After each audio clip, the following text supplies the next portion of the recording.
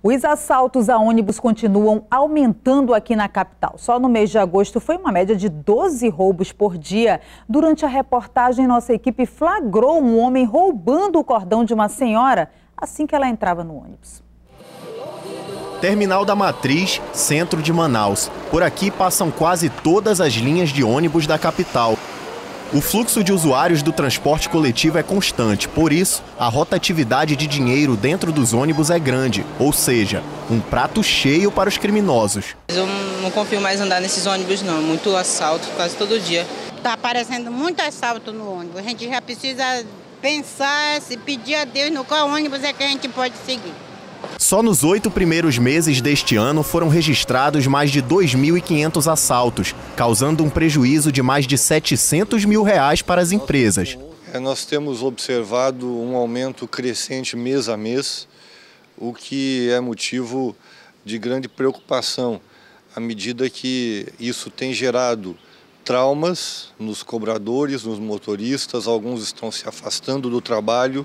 E se depender dos números do mês passado, a situação preocupa mesmo. Só em agosto foram 371, uma média de 12 por dia, um assalto a cada duas horas.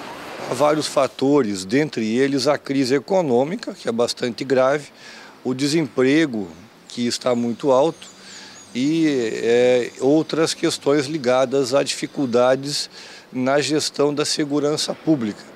Para o Sinetran, a solução é fazer com que todos os usuários do transporte público usem o cartão Passa Fácil. Mas aí surge outro problema. Sem o dinheiro das passagens, o alvo dos bandidos passa a ser o passageiro.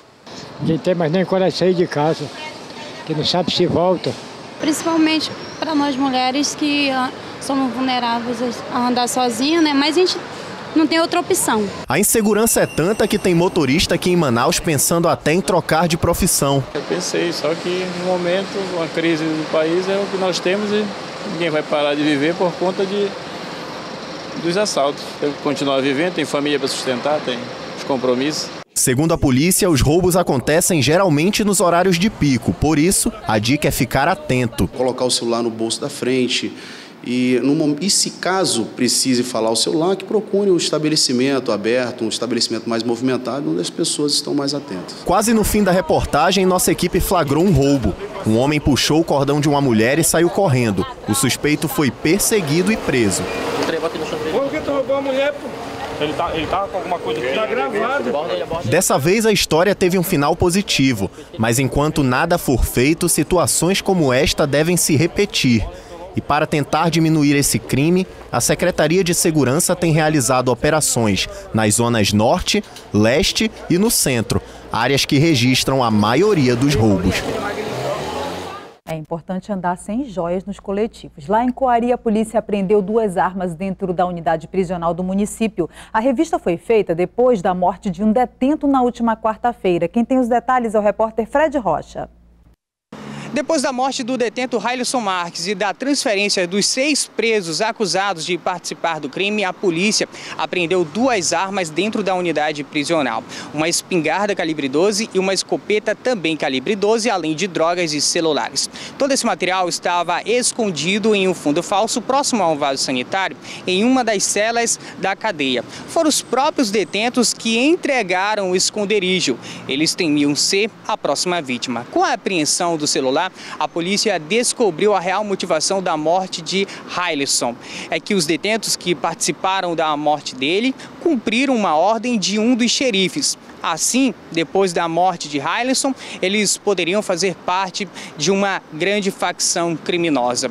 Segundo o Major Pedro Moreira, comandante do 5 Batalhão da Polícia Militar de Coari, o presídio fica na zona urbana do município e tem os muros baixos, o que facilita o arremesso de materiais para dentro da cadeia.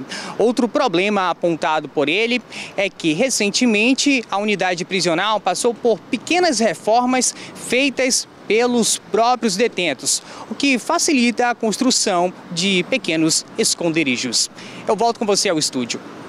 Obrigada, Fred. Os voos de Manaus com destino a Miami, no estado da Flórida, nos Estados Unidos, estão cancelados pelos próximos três dias devido ao furacão Irma, que deixou pelo menos 18 mortos no Caribe e segue para o país norte-americano. A previsão é de que a normalidade de voos retorne apenas na próxima segunda-feira, dia 11, segundo informações oficiais da companhia American Airlines. Em todo o país, diversas companhias aéreas também cancelaram voos com destino a cidades na região da Flórida.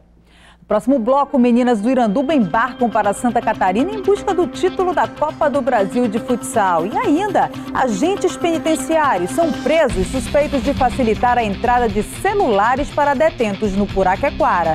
Nós voltamos já.